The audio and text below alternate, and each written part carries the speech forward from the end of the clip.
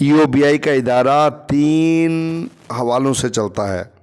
एक तो जो आजिर कंट्रीब्यूशन देता है, एक जो अजीर कंट्रीब्यूशन देता है और एक वो कंट्रीब्यूशन जो मसावी बुनियादों पे हुकूमत दिया करती थी।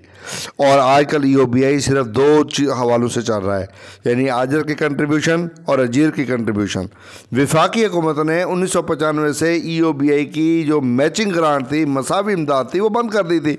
और वो आज तक बंद चली आ रही है। बदकस्मती ये कि हमारा जो ताजर है, वो भी बड़ा बेईमान है। उसने क्या किया? आजर बिरादरी की अक्सरियत ने बीमादार अफराद की मद में असल कंट्रीब्यूशन की अदायगी बंद कर दी है।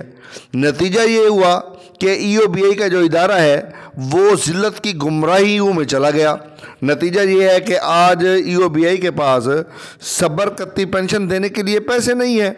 ज़ाहिर है बाकी जो माल मता आता है, जो जमा होता है, वो अफसरान बाला जो है, वो खा जाते हैं, वो अल्ल तल्ल करते हैं। रिज़ल्ट ये है कि ई ओ बी आई का इदारा जो है, वो तबाही का शिकार हुआ। तीन वजूहत से एक प्रॉपर कंट्रीब्यूशन ना मिलना, दूसरा हुकूमत का मैचिंग ग्रांट बंद कर देना, तीसरा जो एक corrupt mafia E O B I को चिमटा हुआ है, उसकी वजह से।